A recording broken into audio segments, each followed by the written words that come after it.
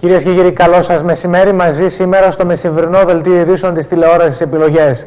Δυναμική ήταν η αντίδραση των μαθητών τριών σχολείων της Περιφερειακής Ενότητας ε, Σερών, συγκεκριμένα του Σιδηροκάστρου, στα οποία δεν έχουν καλυφθεί τα κενά που υπάρχουν.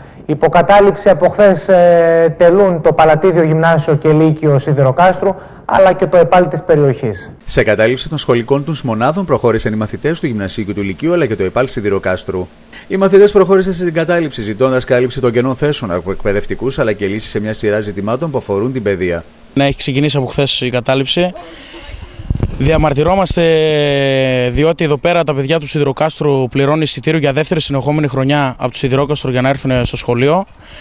Επίσης, ο διευθυντής βάζει χρήματα από την τσέπη του για λόγους του σχολείου, για εξοπλισμό του σχολείου. Υπάρχουν λήψεις σε προσωπικό του καθηγητών σε πανελλαδικώς εξεταζόμενα μαθήματα και επίσης δεν έχουμε βιβλία ακόμη που έχουν φτάσει σε αυτό, το, σε αυτό το μήνα στον Οκτώβριο. Δεν έχουμε βιβλία. Έχουμε την ίδια ακριβώς ύλη με τα γενικά λύκεια. Και ενώ τα γενικά λύκεια μπορούν να περάσουν στα πανεπιστήμια, εμείς δεν έχουμε αυτή τη δυνατότητα. Και έχουν και μεγαλύτερη. Πώς να το πω. Περνάνε περισσότερα παιδιά σε ΤΕΙ από ότι εμείς. Αυτό. Μέχρι να ικανοποιηθούν τα αιτήματά μας, το σχολείο θα μείνει κλειστό. Βλέπετε μέχρι την Παρασκευή ή... Όσο πάει. Όσο πάει.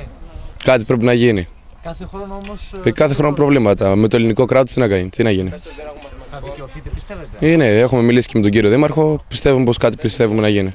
Εκτός από το ΕΠΑΛ Σιδηροκάστρου, υποκατάληψη τελεί και το Γυμνάσιο Λύκειο Παλατιδίου. Οι μαθητές ζητούν κάλυψη των κενών θέσεων σε εκπαιδευτικούς, αλλά και μία σειρά άλλων ετοιμάτων που αφορούν στην παιδεία. Την ίδια ώρα, ο Δήμαρχος περιοχής Φώτης Δομουχσίδης ζήτησε από αντιπροσωπείες των μαθητών να τον επισκεφτούν προκειμένου να το εκθέσουν τα προβλήματά τους. Στο γενικό πλαίσιο του ενδιαφέροντος και της αγάπης μας για τα παιδιά, με μεγάλη μου χαρά δέχθηκα αντιπροσωπείες και από το Λύκειο, το Γυμνάσιο και το ΕΠΑΛ ώστε να μου εκφράσουν τι, ποια είναι τα προβλήματά τους τα οποία αφορούν ε, θέματα εκπαίδευσης το περισσότερο και καθυστέρησης πρόσληψης καθαριστριών εν μέρη και περισσότερο καθηγητών.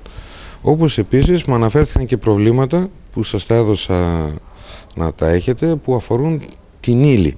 Δηλαδή ότι διδάσκεται ύλη η οποία δεν εξετάζεται στις Πανελλήνιες και ότι αυτή η ύλη τους τρώει χρήσιμες ώρες από άλλα μαθήματα. Καθώς επίσης και στα μαθήματα της κατεύθυνσης δεν υπάρχουν εξειδικευμένοι καθηγητές.